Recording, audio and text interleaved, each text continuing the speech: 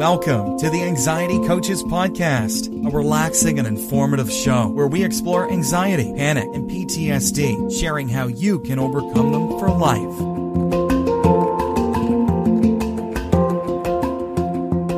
Aloha! Welcome back to the Anxiety Coaches Podcast.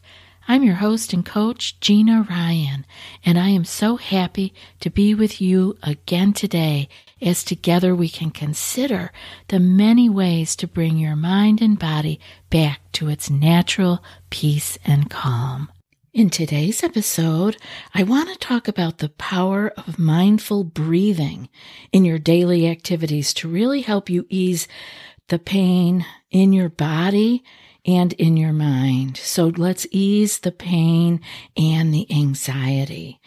So recently here at ACP, we had an email from someone who was asking about chronic pain interfering with anxiety recovery and being able to use the tools. And I so get this when you have chronic pain it can be almost impossible, or it feels like it's impossible, to focus and be able to use the tools that we talk about here so that you can recover, get yourself out of the wormhole. And one of the ways that we can ease ourselves into the practices and the tools we talk about here is through our breath. We are already breathing all day, every day and we will continue to do so. So let that breath be your anchor into a more peaceful and calm way of being in the chaotic dance of life, I'm telling you, we know, like, I have pictures of what people think healing looks like and what it actually looks like. And a dance is a nice way to put it, but a chaotic dance is more what it feels like, where stress and anxiety take center stage. So we want to be able to find moments of tranquility. And these become paramount in our ability to build. We're just placing one brick at a time. Don't think about being better tomorrow or going from A to Z.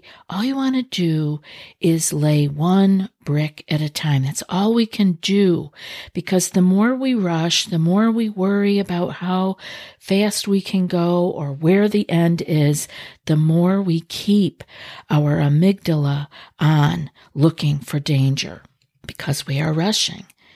So, as an anxiety coach, I totally understand the unique challenges that are faced by people, those of you out there listening who are battling chronic stress and anxiety, panic, fear, whatever your flavor is of this turned on amygdala, this nervous system ready to launch into fight or flight.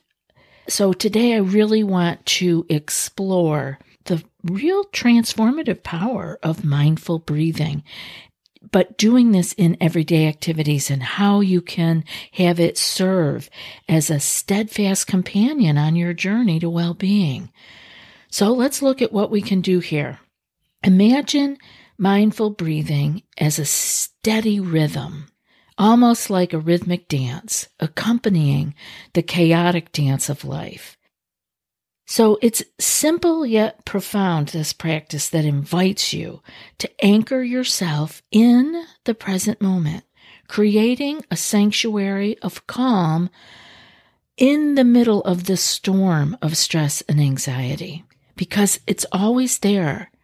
That calm is inside of you. It's like the eye of the storm. Maybe you can visualize it is in that way. So coming into your center, and what is at your center is your breath.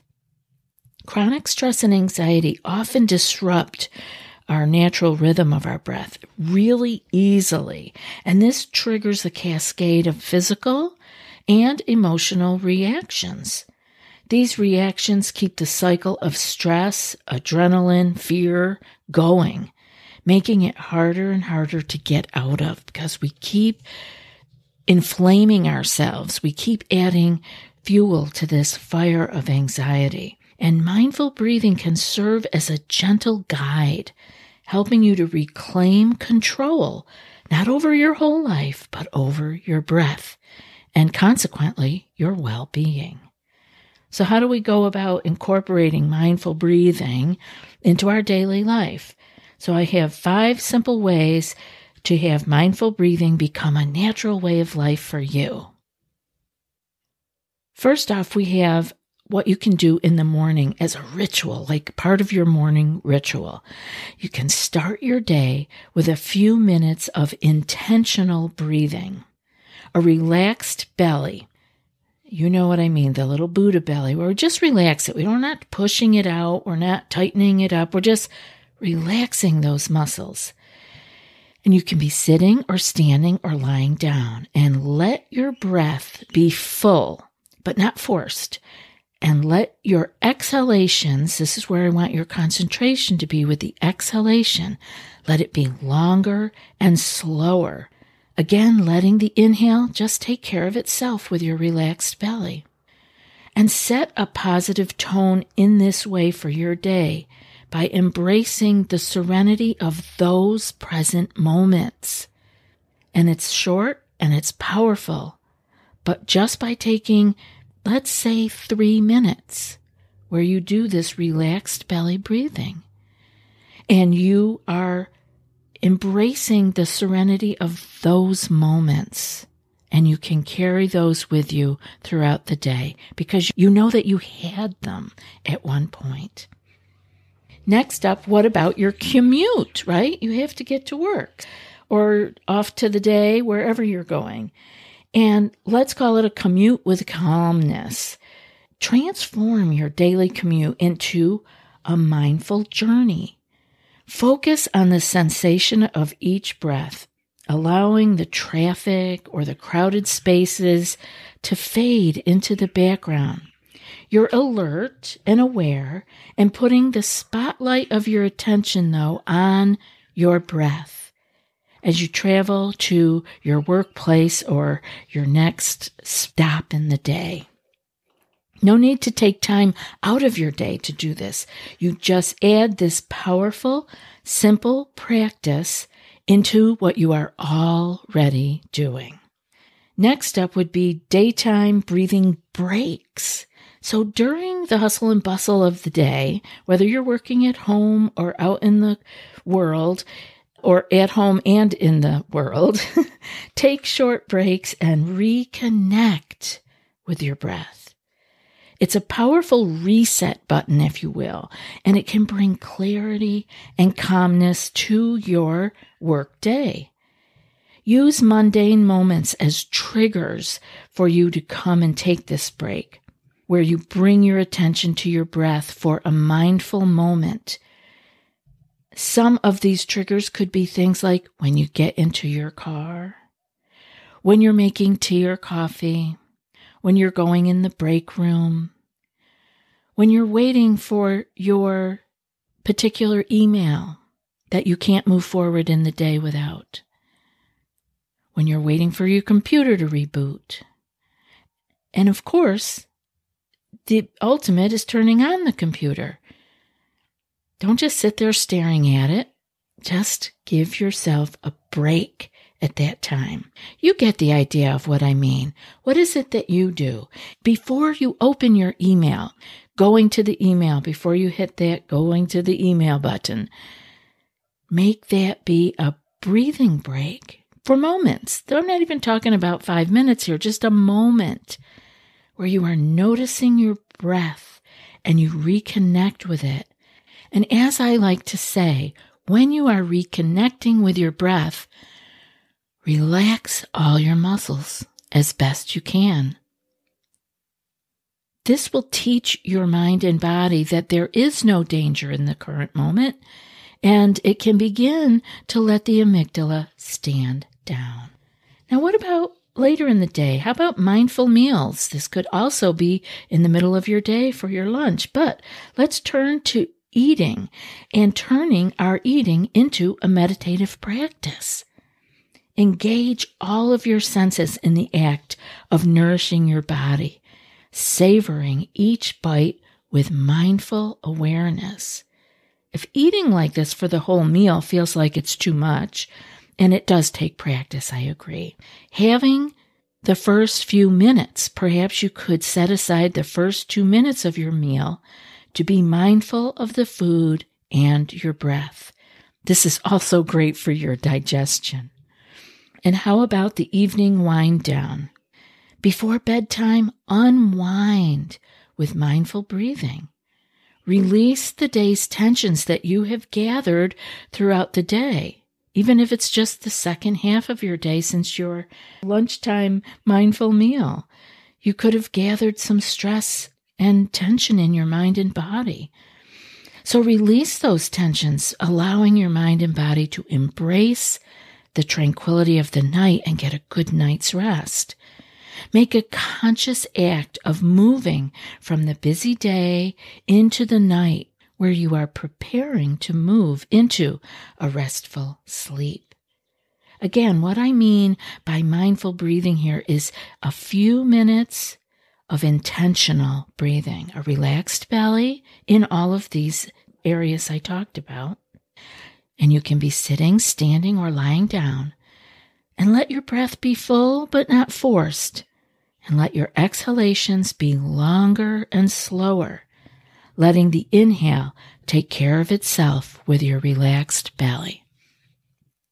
So I know firsthand that integrating mindful breathing into a busy routine or an already frazzled nervous system can be really, really, really challenging. So I think it's crucial to acknowledge that even small amounts of mindfulness can be significant in the changes that will be made over the long term. Again, we're talking about just laying brick at a time.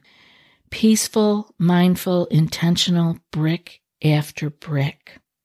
Address the resistance that you feel about this. Even notice right now if you're feeling resistance or, yeah, but that won't work for me or whatever. I get you. and remind yourself that this practice is a gift you offer to your own well being. Remember that what we resist persists. So face the resistance and move through it gently. Realize that you are not alone on this journey. If you want to hear the stories of other people like you who have battled chronic stress and anxiety or are currently going through the same struggles that you are, spend some time in our group coaching membership or visit our Facebook page.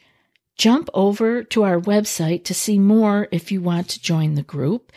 And we'll be happy to get you more information, even if you just send an email to anxietycoachespodcast at gmail.com, because you can really begin to discover how mindful breathing, along with many of the other practices and exercises we discuss here, we have skill sheets on these in the group.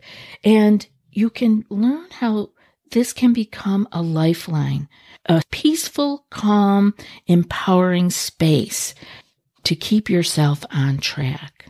Now, as an anxiety coach, I am aiming all the time on these episodes to guide you towards sustainable well being. And mindful breathing isn't a quick fix but a gentle companion on your path to resilience. You will be amazed how strong you can become by being able to pull yourself out of circling the wormhole, moving yourself away from that all through your breath. This is a way to embrace your well being sustainably because the breath can put us into or out of a stress reaction. So we carry this powerful, mindful breathing with us for a lifetime. It'll start small today, brick by brick, but be patient with yourself and witness the subtle yet powerful transformations that can unfold. In the tapestry of life, where stress and anxiety may weave their threads, Mindful breathing is a beacon of tranquility. As you embark on this journey, I want you to remember that each intentional breath is a step toward reclaiming your inner calm. May your everyday activities become a canvas for mindful living, painting a picture of well being and resilience. And now for today's quote Feelings come and go like clouds in a windy sky.